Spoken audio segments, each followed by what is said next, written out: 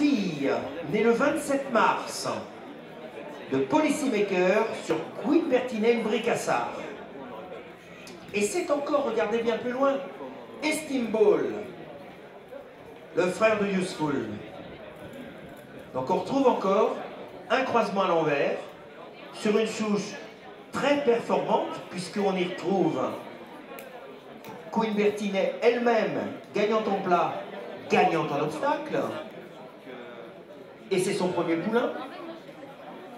Et plus loin, vous retrouvez Softboy, Softboy qui a été un gagnant du grand style de cran, d'où cheval classique encore.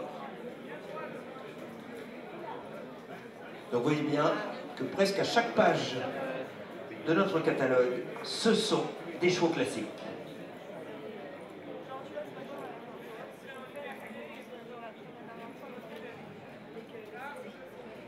Et Willy, notre rédacteur de Pédigré, a rajouté en bas, c'est aussi de la famille proche de Charles Starr, né en 2004, donc c'est très récent, un fils de Landau, qui est donc vainqueur d'un groupe 1 à Merano.